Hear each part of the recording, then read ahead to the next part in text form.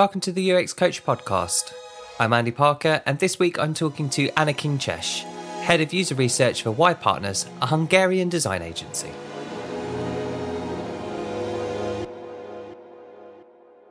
I wanted to learn more about how Anna found herself as head of research for an agency straight out of university and how her background in cognitive sciences and landscape architecture influences her processes.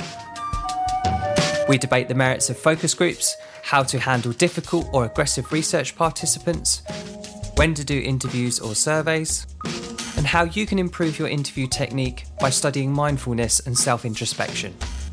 Here's Anna to get us going. So, hi, thank you very much for having me and inviting me on your podcast. Uh, I'm Anna Kincses. It's a very hard uh, name. It's Hungarian because I'm Hungarian, and I do live in Budapest, Hungary, and I work here as well. Uh, I never really worked ever outside of my country, um, so I only have my local experiences, and um, so far I've been working as a UX researcher or design researcher, as I call it nowadays, uh, for the past three years. And it has always been the same company, which is a very, very small um, design studio, we call it, because it's only six people um, who are regularly working together. And then we have partners or contractors who we work with um, if you know a project just grows too big and we can't take it. But i'm the only researcher in the team and also the only woman in the company. And i've always been. We had one uh, intern for eight months nine months i think. But it was a little different setting you know? That's it i think.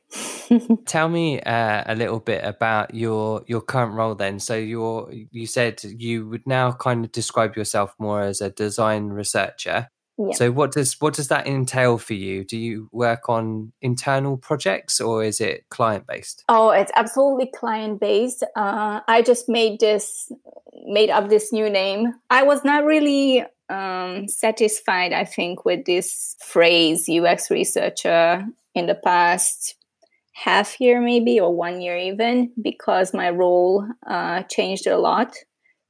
So I would say in the first, well, maybe one or one and a half years, it was only research, but really, like, I didn't really have as much responsibility as you know um, contacting the clients and being really in such a constant and tight contact with them and also the other parts of the process. So my role was just doing the research and then handing over my insights and kind of this is it. And so in the past um, one and a half years so in the second half of my career so far, uh, it changed a lot and in quite a short period. So it was, I think, just a few months, it shifted towards being much, much more involved in the uh, processes after the research, even. So I had this problem that I would just say, you know, that I'm not only a researcher, but I'm also a design strategist because I'm not yet a UX designer. And I am not even close to UI design because I don't draw. So, and it's my choice. It's not like I can't or I don't want to. It's just, oh yeah, it's eh, I don't want to. To be honest, uh, I'm not that interested in that part of the process. In the UI design. Yes, yes, yes, process. yes, exactly. But even wireframes, I'm not wireframing. If I I can if it's uh, on paper, you know, because I enjoy the discussion so this is the there is a very subtle part of our processes where I finish the research, I have the insights, and then we sit together, just us or also with the clients. It's it depends on what the client is like, if he or she needs it or not. But so we sit together, the team, and uh, we draw this strategy, you know, based on the insights. And then maybe we even start sketching in the next few phases. And I'm also involved in that one, although I'm not using, you know, softwares to actually uh, design or draw prototypes, wireframes, etc. So it sounds like you have found yourself in a in a really great position in in many respects that you have got a very narrow focus to your to your role because you've you've been able to sort of carve out you are the only person that does this in your organization you're the only researcher. But what challenges does that then have being the only person that's doing it? Oh well the first uh, thing that came to my mind was that you know if we have a lot of projects because this is life and sometimes it happens that just more projects come in at the same time then it's extreme it could be extremely overwhelming. But i'm lucky enough to say that my coworkers kind of help me so it's never like i do research alone because this is another drawback i would say of being uh, a solo researcher that um, I prefer having other people by my side, even when I'm uh, moderating interview sessions, for example, because I like if you know there is another person having a different perspective on the topic we discuss. And maybe if I forget something that was not written on our script, but might be interesting to ask, and I don't think of it because I'm so, you know, uh, involved in just going through the script and paying attention to my interviewee, then maybe this other person would ask it. So I, I really like it if there there are other people and also also in the processing or the analyzing phase of the data. I kind of do it alone, but then I bring it to my UX designers right away so they can have a look at it and maybe they would have you know a different interpretation of the findings that i'm showing them. Uh, also i thought of it a lot when i started in this job. When i landed in this job you know i was uh, i was not only the only researcher but it meant that um, they trusted me enough to say that although we know we know that you you've never done this job before but you kind of have some kind of um, preliminary knowledge of how this goes, we trust you to establish this whole research methodology in our company, which is great. But, you know, at the same time, I didn't really have any kind of mentor or like a senior to lead me on my way, but I kind of had to find my own way, which was, you know, full of arguments and compromises uh, and stuff like that. So where do you go then to to find that support? You you know you're you're thrust into this responsibility of yeah we don't really know how this goes, but we think that you can figure it out for us.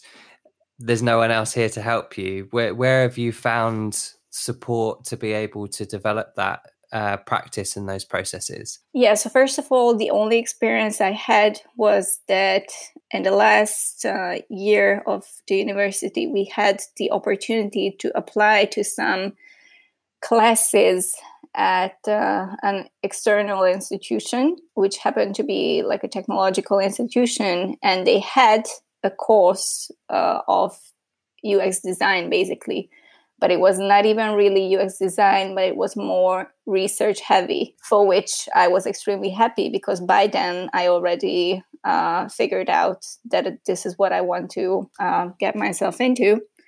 So I made this course, but that was it, that was it all. And then so everything was so accidental, and I was so lucky, I think, because I applied to some positions to a UX researcher like a junior. You know, I I would I didn't think that I could. Uh, I don't know, just jump into it and do it alone myself. Uh, but they didn't really. I didn't get positive responses, and then um, I just told one of my professors. He has like, so Anna, uh, you're gonna graduate soon. So what what's gonna happen after?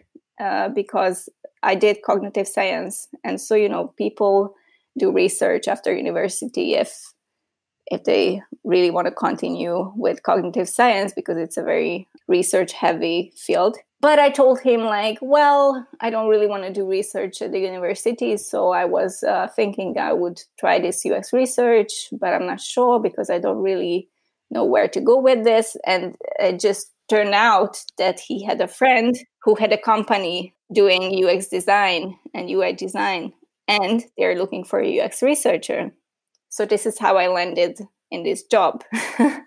Originally, you asked uh, where I turned to gain more knowledge. Well, my friends always laugh at me because I, I'm a hundred percent Google person. And I'm trying to explain everyone how Google is like the biggest invention of humanity because it's basically, I mean, you can access it, you know, even from your phone, which is always in your pockets. So you have the whole, the knowledge of the whole world in your pockets and you can find everything on the internet. So I've just read and read and read and read a lot of articles and a lot of even academic research papers and everything I, I just could. And it was kind of um, um, unfolding through, you know, doing it because I had a general idea of what we have to do. And each time I actually came to applying uh, a method, I just Googled it and read like five articles about it to make sure that I'm doing it right. Tell me more about your studies and mm-hmm. the overlaps that you've seen with that. So you, you studied cognitive science? Yes. Where where have you found that there's overlaps in this sort of field of digital design and the things that you were looking at within those studies? I recently talked to someone who pointed this question out to me like anna i just found out that you are actually not only a cognitive scientist but you also have a degree in landscape architecture how come what is the combination and so i explained to him like i explained everyone else and like explained all of my professors and my peers and everyone that i know it's weird. I can't i can't help but I've always, you know, altered between these two interests of mine, which is either some kind of verbal expression of myself or visual expression in more like an artsy way. So first the visual win. and I had this interest that I want to be a landscape architect, a landscape designer because it's such a beautiful field and I can design and it's beautiful and my name is going to be on the little tables like a little signs on the park etc well this is not how reality goes so by the time i finished school uh, i realized i don't actually want to be a landscape designer but that then came my other interest which is which has always been psychology and just human cognition in general so I had the chance to apply to a, to a master's program in cognitive science. I didn't, yeah, I didn't finish school yet. It was a lot before the last year of uh, this master's program, and uh, I remember I had two different, you know, part-time jobs, and I was so desperate to find out how I'm gonna continue because I already knew that probably I don't want to stay at the university and do research there. Um, I, I, probably I want to work somewhere in business, and so I opened up Google and I literally just typed in my two main interests, which, which was design and psychology, and you know, UX UX design and UX research articles just came up, and I was like, oh damn, this is exact this is exactly what I want to do. Have you found that there are other there's other skills or activities that you have learned through both doing both of those courses that you are still using today because any form of architecture landscape architecture that's all about learning how to develop spaces that are used right it's the interaction exactly. with the space exactly so what are the things that you bring that's that's different because you have that background Mm, exactly. You're absolutely right. This is exactly what I thought when I started to work in this that actually landscape architecture is is closer to this field than we would think.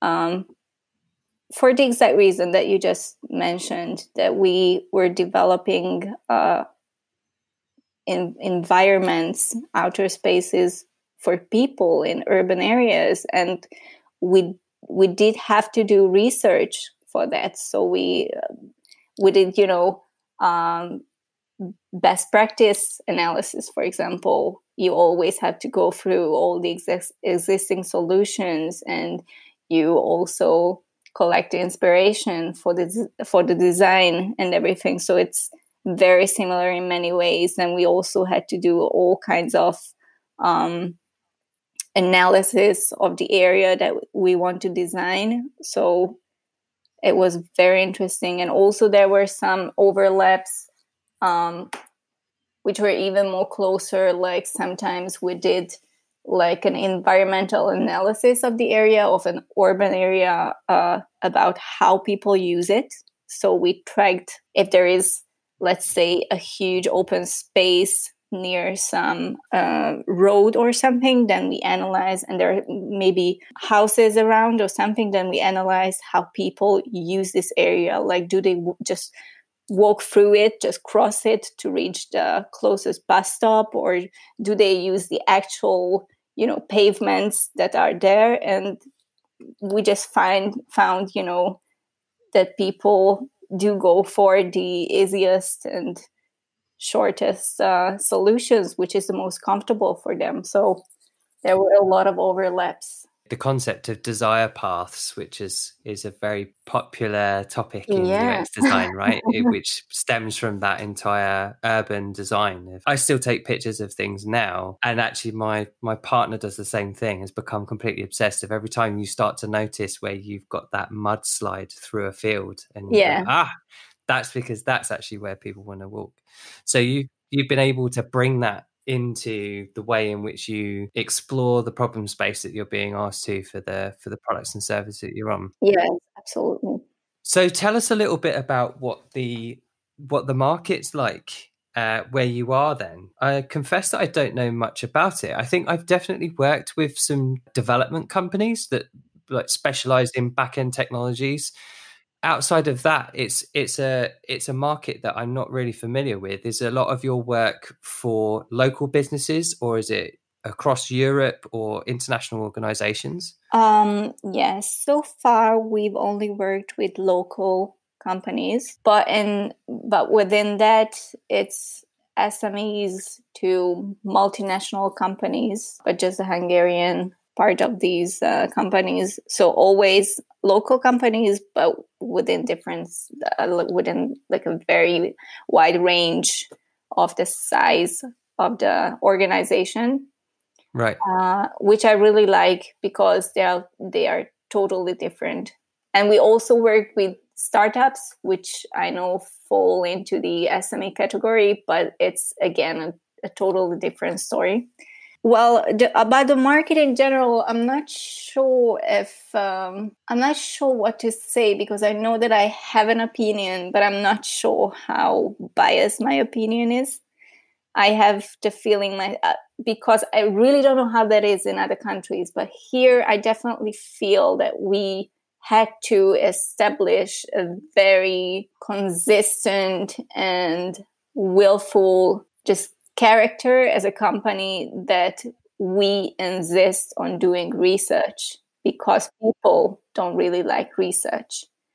I read, I, I've read um, articles from other countries, so I assume it's it's not only like that in Hungary, but I definitely experienced that it's something that you really have to, you know, say why why is it so good? Why do we need this? Why does it cost so much?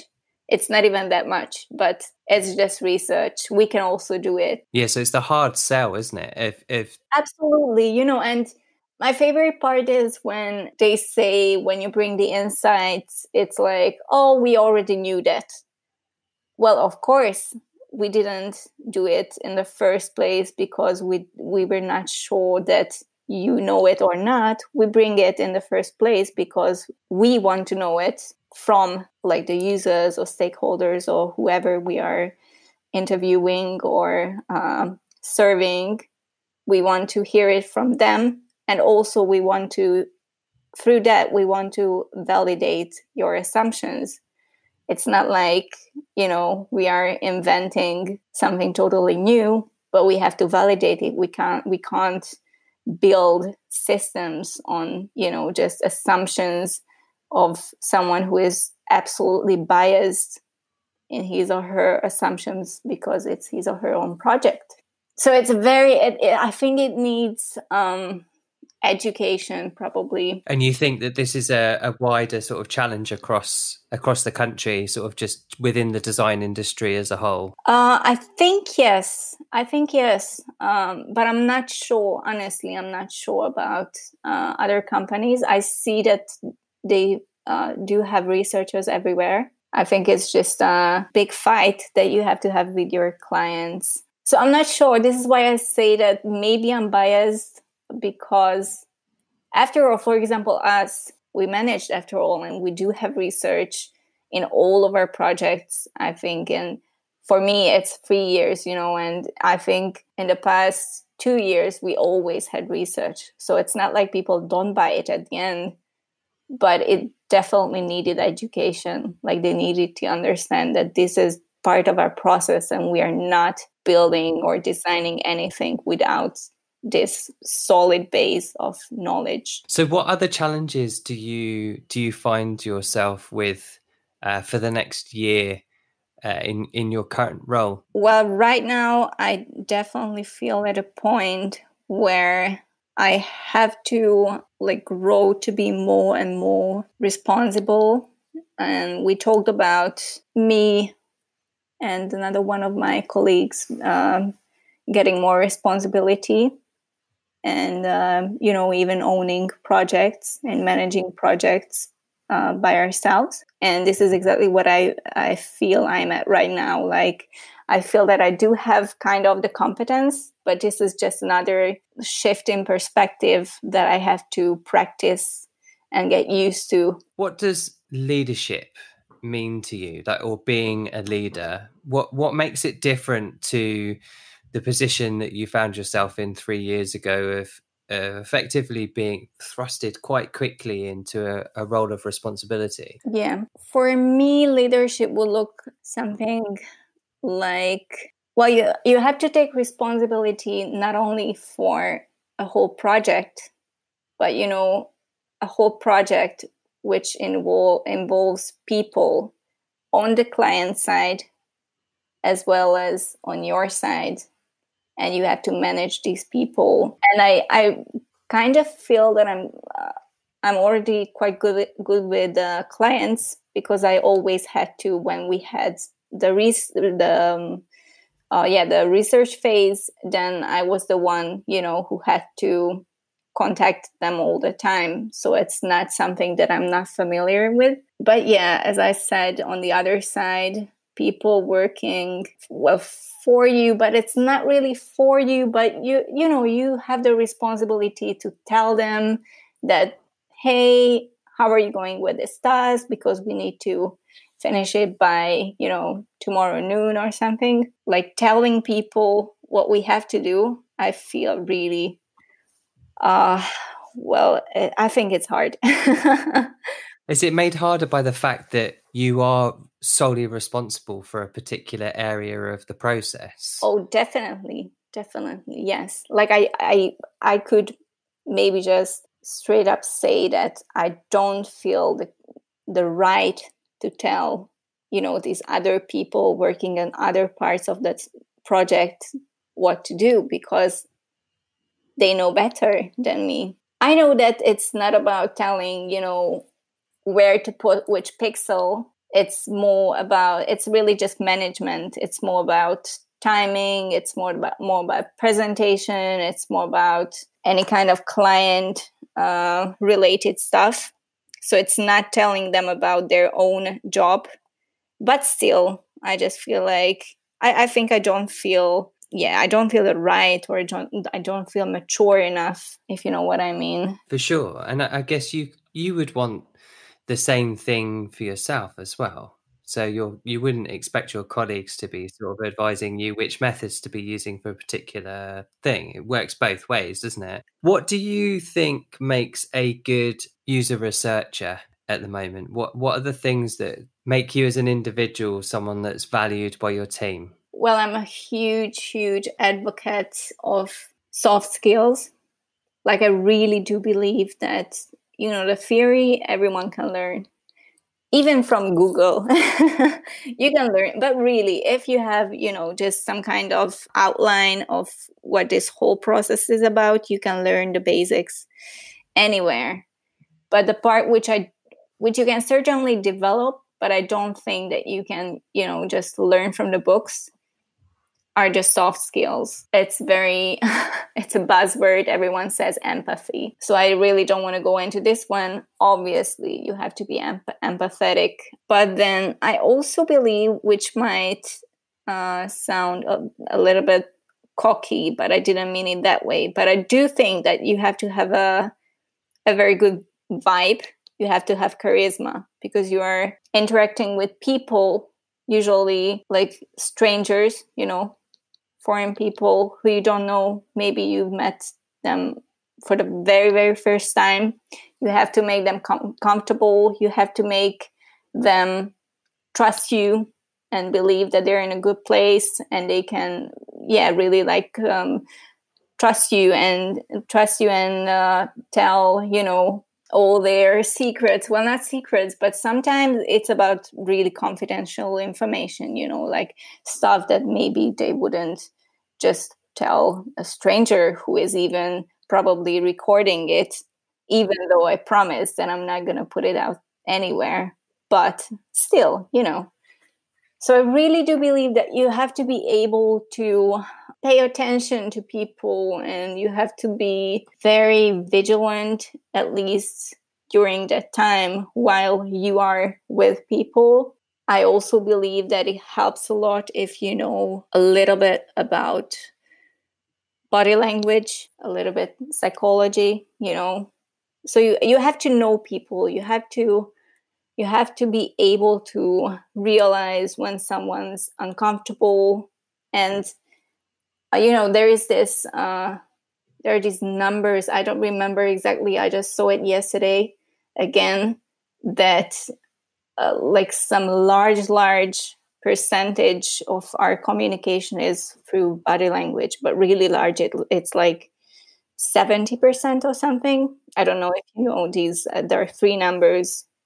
One is like the things that you say one is the tone of your voice and the third the largest proportion is body language. And you have to know it. You have to just you know recognize it right away if someone doesn't feel comfortable or if they get you know angry at something but they don't say because they feel that oh, all right i went into this interview so i'm going to do it but i'm pissed. You have to realize it. Yeah, I, I, mean, there seems to be another strand to that, which is becoming very uh, emergent in the UK, at least, around cognitive impairments mm-hmm. within individuals and exploring all of these other diversity challenges that we're facing. We're we're just becoming more exploratory in in who we are and, and, and how we behave. But there there was also some statistics recently that something like uh, one in four people that are born beyond 2000 the year 2000 will have some some form of cognitive impairment however that wants to be described whether that is is something like dyslexia and dyspraxia or ADHD or at higher levels within the autistic spectrum. And so those communication areas become a lot harder uh, to define and to, to get better with, right? Because we're now faced with a situation where your body language doesn't necessarily reflect the way oh, in which absolutely. you're speaking. And that creates an even harder thing to navigate. So, how in terms of research, what are the things that you can possibly suggest to people to look into or, or things to explore to be able to improve working with people that are at times very different to the way that you are? Yes. Oh, well, I think um, I've always believed that if you want to know others, you have to know yourself and vice versa. So it for me personally it's constant observation you know of myself and my surroundings meaning people who who are surrounding me and just constantly learning about them you know.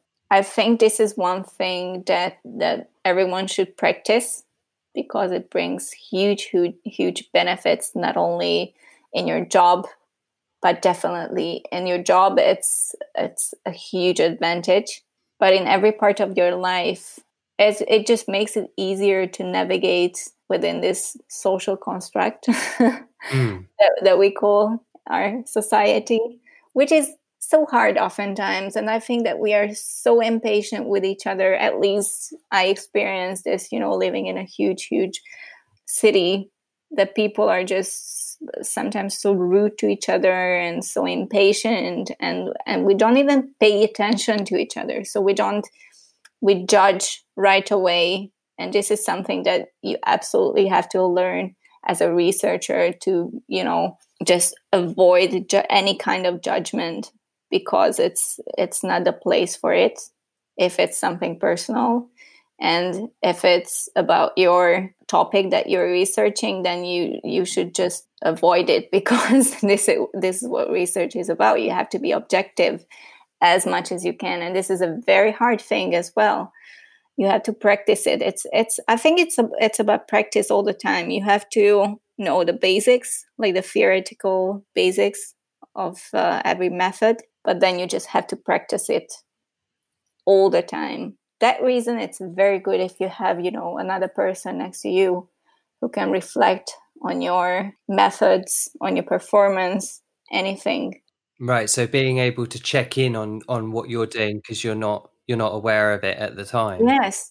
Yeah it's very interesting you know that i really do practice uh, a lot of like self awareness self observation introspection whatever you call it. And yet it's it's totally different when you're you know live in action and doing the interview.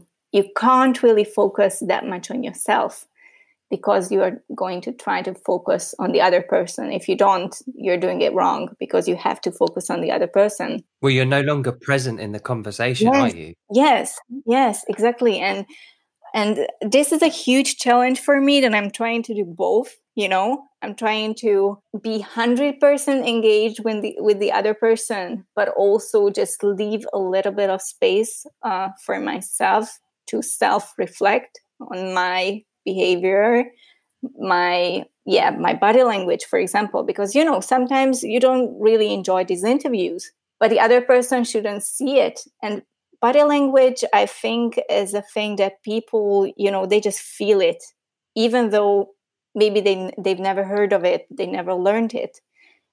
But it's a thing that we implicitly like feel because you know these facial expressions you know these um, postures and everything and you just feel mm. that the vibe is not that good anymore. Or maybe this conversation is a little bit boring for the other person etc so i really try to do my best and also focus on myself a little bit you know, just to control myself, not in a bad way, but in order to make the conversation go go smooth and not to ruin it with you know my own um, whatever. Maybe i have a conflict with myself because i had a bad day but it, the other person just shouldn't see it.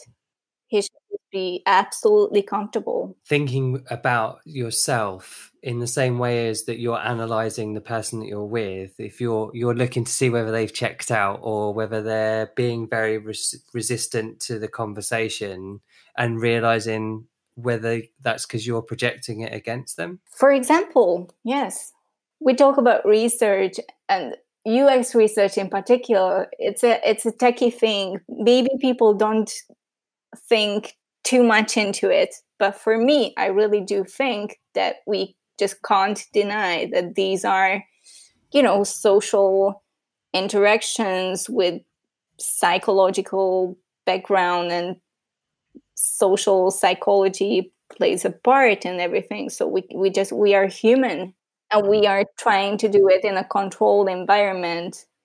Yet it has to be, you know, loose enough for comfort and for trust and and everything so i do think that it it you have to be paying a lot of attention into these little details. I was always a little bit skeptical about user experience design when you're looking at that very broad generalist approach that this introduction of psychology of various different fields was a little bit gimmicky and mm. kind of unnecessary because at the time I was looking at it more in terms of interaction design. So I was I was looking at something and thinking there is no way that you can infer from whether someone pressed one button or another what they had for breakfast and what's going on for them today. But as we've been able to get deeper and deeper into and into conducting good research and interviews and, and talking to people, that's where I feel this this whole area of, of improving your understanding of cognition and psychology and sociology becomes really important. Yes. And I couldn't agree more because even though, or maybe exactly because of that, that I'm a cognitive scientist, I also felt that it's just, it's, yeah, it's too much. Like, why are we trying to prove that psychology plays such a huge part in yes interaction or ux design?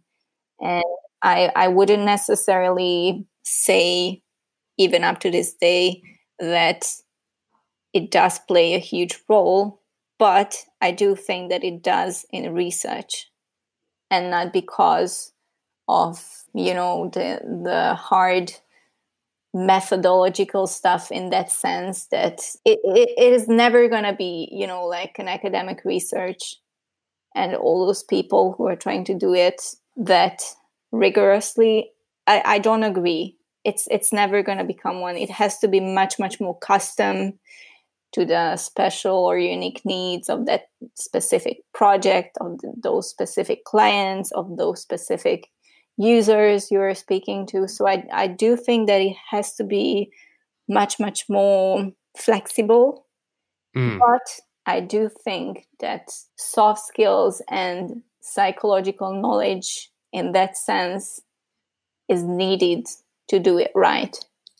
Because you're interacting with people and you want to you know get information for them from them. And we had some really uh oh wow some really tight situations you know where i definitely felt like okay this is a very like hostile situation with this person because for whatever reason he said that he's going to do this interview but i from the moment i stepped in i could feel that he is that he's like straightforward aggressive about it and i had to handle this situation and if i wouldn't have you know any kind of knowledge about like higher knowledge about how to how people work, how to um, behave with them in different situations, and how to control a situation, like a social situation. If I wouldn't have known that, then probably I would have just, you know, cried or something because it was very, it was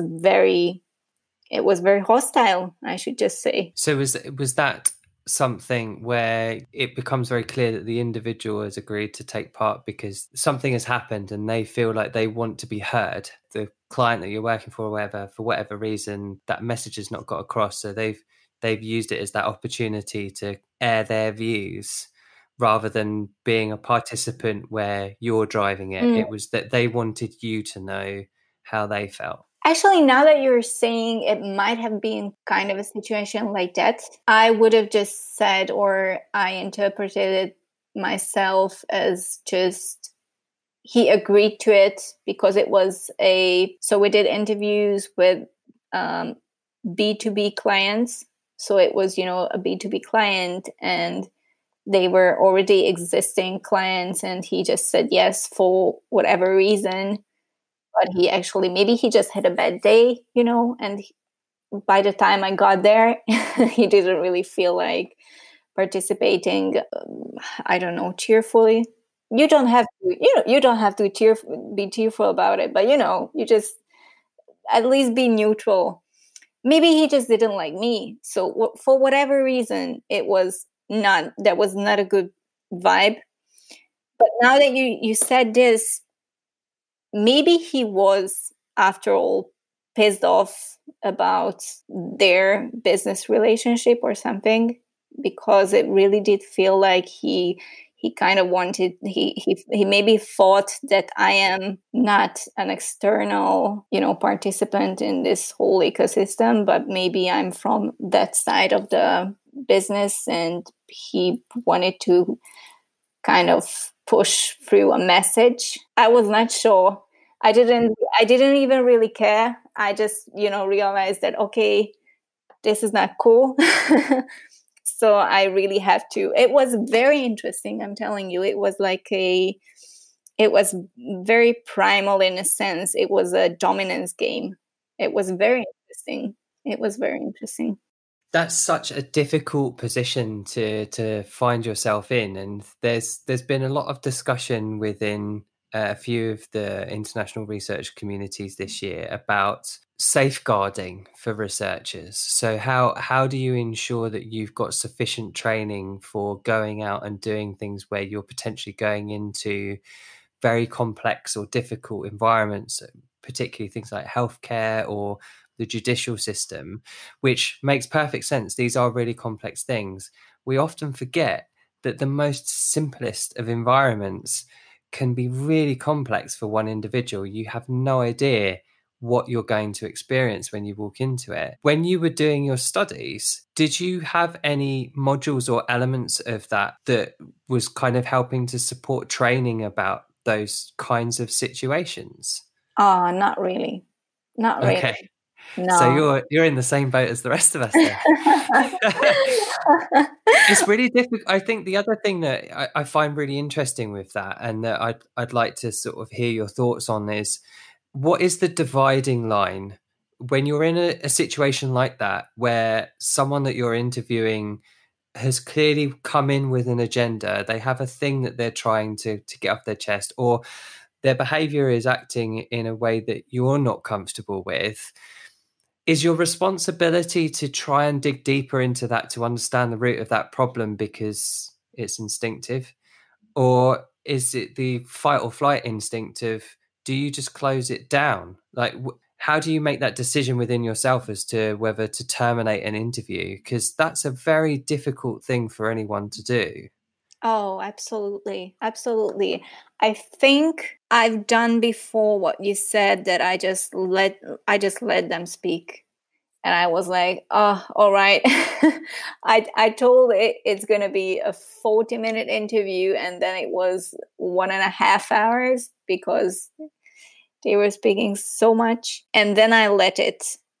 Today I wouldn't let it, I think because I, I do believe that this is also our responsibility as researchers to keep it you know on track. It's it's not going to make you rude or something to you know just um, tell it in a very kind way that this is very interesting. I would love to talk about it for hours because i really do care.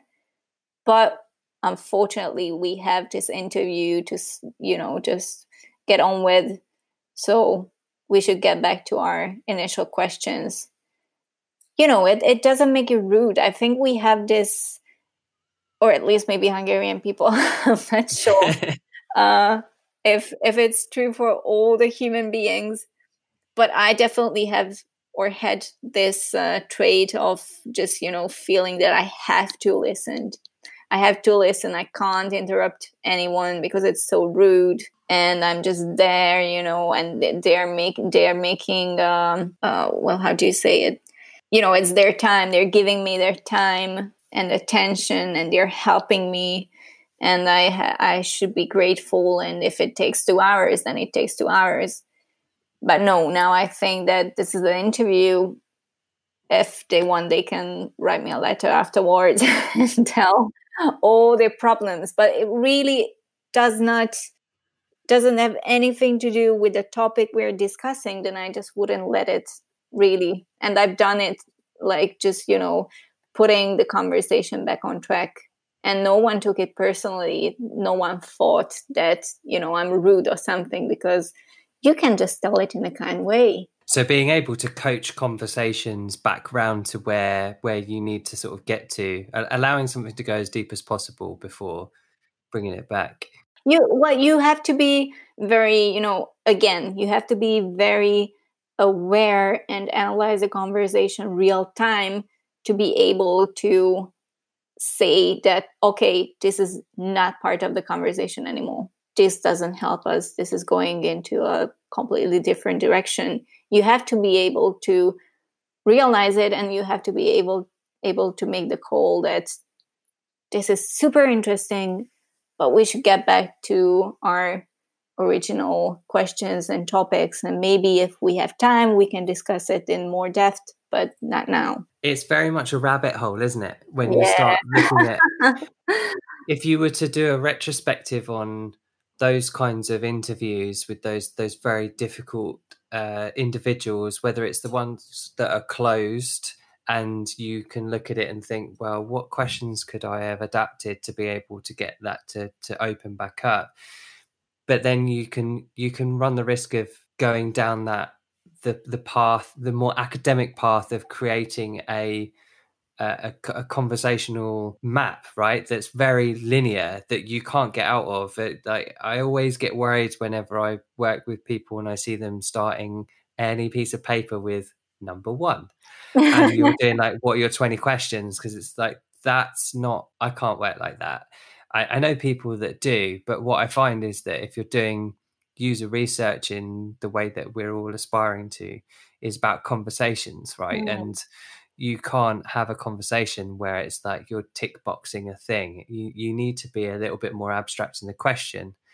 And then you start to question your entire existence of should I actually be doing this at all? Oh, absolutely. And I I probably I even co- encourage people to do that because I always, you know, explain in the warm up part or the introduction part how this whole conversation is going to be and I always ensure them that they can talk about anything that comes uh, to their minds about this topic. I do have questions. I have this piece of paper. I'm going to look at it sometimes because these are the topics that we have to go through.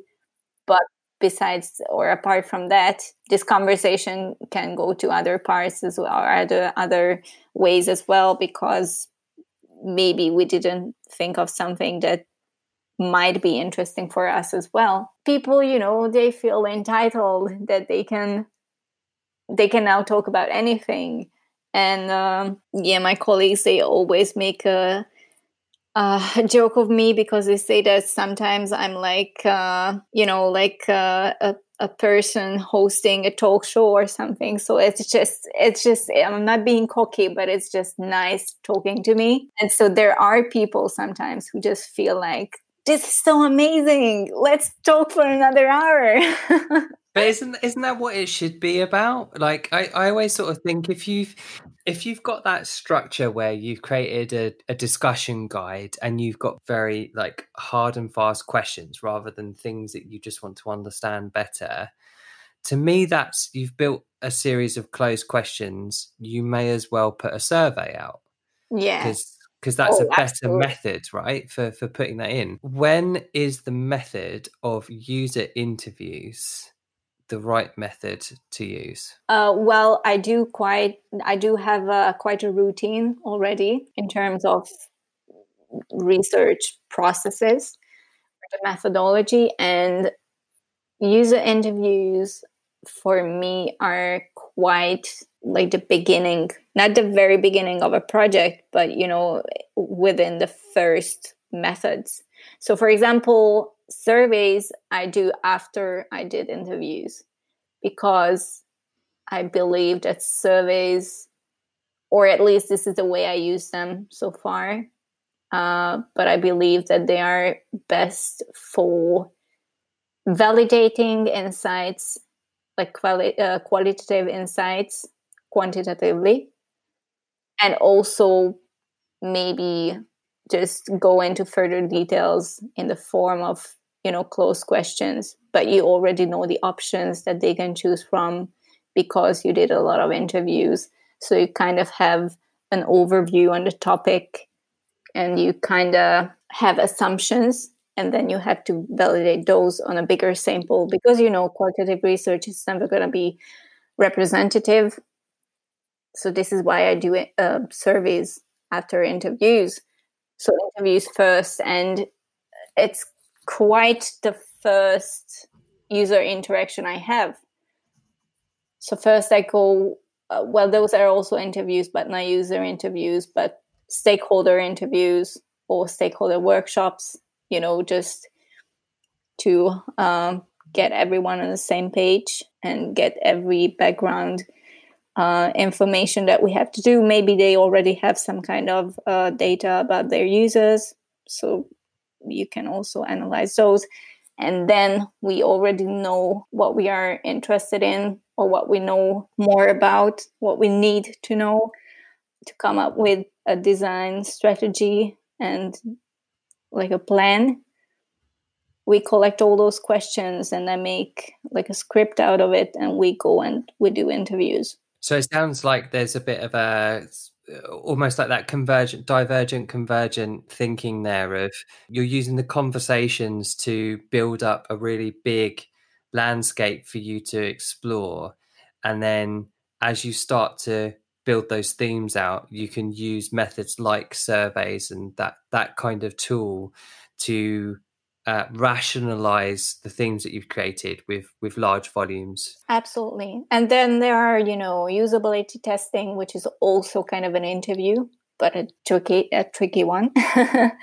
But it's also an interview actually. And then sometimes not so often but sometimes i also do focus groups which are also it's like a group interview uh, which can be done either at the beginning but so far i've always done it when we already had at least wireframes, but more like prototypes. So we were quite in the design process. And then maybe we made some focus groups to get more insight. What benefit do you get from focus groups? Well, I know that there is a huge, huge debate around focus, the use of focus groups and the benefits but personally, I don't see that it's so, so dangerous because I know that a lot of people, so the major pain about it, as far as I know, is that if someone uses it as a usability test,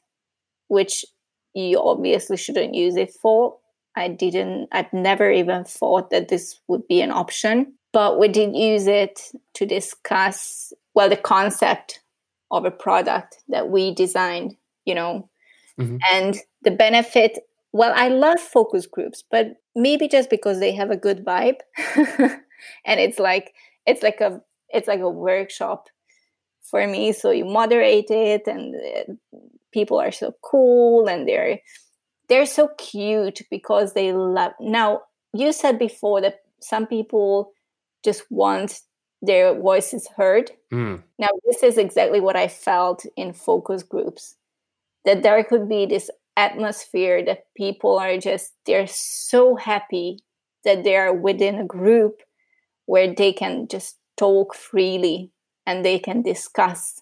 And they're not even some people might be but in general i didn't really experience that people would be you know ashamed of their opinion or afraid of conflict or arguments or something. And it always turned out so well but yes, maybe um, mainly it was uh, discussing concept, the design concept, and also the topic that we were designing for in more depth and in more details. So by then we already know already knew which parts of the design was, you know, the most critical ones. And then we brought it into a focus group and just let them pick it apart or just discuss it, what problems they have with this idea. Yes, it's always a like you say, it's it's always a a, a contentious subject of focus groups because of that loudest voice in the room challenge. And sometimes I do wonder whether that is a problem when you have not been thorough with your selection process for the focus group. Like if you were doing market research and you just picked 20 random people off of the street, you should probably expect that there may well be some differing opinions and as a result different people from different walks of life and therefore gonna clash. And some people are to say nothing and some people are to command the room and completely take over. But if you're doing something where you're curating that focus group because it's about you have a deep understanding of your persona then theoretically surely a focus group is literally like your persona template it yes. should be a representation of like-minded individuals that match your persona. I think the problem is because people create focus groups badly. Yeah. Oh well, absolutely. And also this loudest loudest voice in the room. You said so. Uh, I don't know. I think we can't just you know move a method into the trash because we are not able to control a situation. You have to be able. Like it never happened to me. It happened that there were some people who told more but it, I, I like i had to control it and i had to make an atmosphere where we all felt that this is a friendly environment. It's fine to talk but i just it was so hard i'm telling you. It was so difficult. We had i think like eight people and i was lucky because they didn't arrive in the same time so i had time you know to talk like one sentence with everyone who arrived you know signed the papers and every, everything. And i told them that even though of course it's it, if someone bothers it could be anonymous so i don't care what name they tell me but just they should just choose a name for themselves, which they want me to call them by. And I learned their names after five minutes. I called everyone by their names, you know. So these are, again, very important details, I think. And so I could say that, hey, listen, Adam or whoever. this is amazing. Uh, you can finish this later, but maybe I would like to hear the opinion of whoever Pete because I know that I paid attention. I was, you know, aware. I was present in the conversation and I paid attention. And I remember that he didn't say a thing in the past three minutes. And I do want to hear his voice. And he was not against it. Yeah. So it's, it's being, again, it's that being present, isn't it? And it's a, it's about being able to read a room and see what's yes, going on with those people. Yes, you're a researcher. You, you took responsibility. You can't say that, this is such a dangerous method because it's so you know it's so hazardous there could be so many flaws well of course but what does it mean? It means that you have to put more work into it. That's a really nice way of looking at it. Doesn't it doesn't mean that you can't use it. It just means that you have to put much much more work into it. And of course you have to take every insight with a pinch of salt. But you know sometimes it's the best you can do because it's eight person at the same time. You know sometimes because of resources it's the best you can do or maybe it's the really the best method to discuss that topic. And sometimes you do get great results. I want to ask you what the best piece of advice you've been given so far is.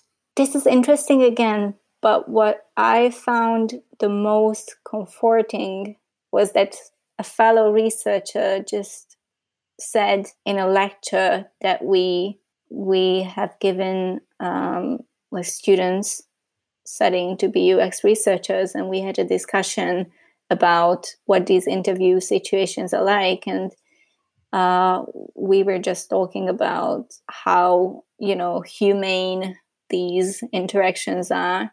It was so comforting for me to hear from another researcher that she just said, you know, sometimes it happens that maybe you get sick or something while you're doing an interview, which is obviously super embarrassing, but we are made of human. And so if this is the situation, you absolutely have the right, you know, to say, I'm sorry, I need like five minutes or something stop the interview and just, you know, stand up and go out if you need to, because we are human and we should never look at these situations like in such an uptight way that I have to be, it has to be perfect. We're not perfect, we're human. So, as the interviewee, and so are we researchers. So, it was, mm. yeah, I, I, I really felt that, oh my God, I needed this because sometimes I just, you know, I get so anxious because maybe I'm not in the mood or, or maybe I, I am sick or something and it's fine. It's fine. I think that's a really lovely place to finish this up. And I, I hope that uh, some other people can hear that and reflect on it and think of the times where they've come in sick uh, or are just not with it at that point in time, or maybe even like you were saying before, they're halfway through and they realize they've checked out of this. Yes. There's something else going on and they need to they need to reset and, and allow yourself the opportunity to do that. Anna, it's been absolutely amazing speaking to you today. I've really, really enjoyed it. If people wanted to uh, get in touch with you or, or learn a little bit more about what you're doing, where can they go? I do have an Instagram profile, like a professional Instagram profile.